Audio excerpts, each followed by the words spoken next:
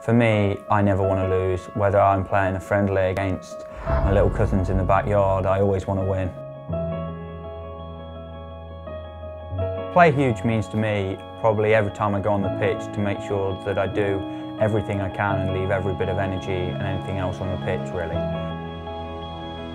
And just to make sure that we're always putting on the best show possibly can. To play for your country is, I could never describe how great it is. When the national anthem first comes on, it was just, you're lined up, you stood there, you're ready to play against world champions in the first game of the tournament and it sends shivers down your spine. Everything I do, I put 100% in and I just graft as hard as I can. And at the end of the day, to be the best at that level, there is taking no shortcuts.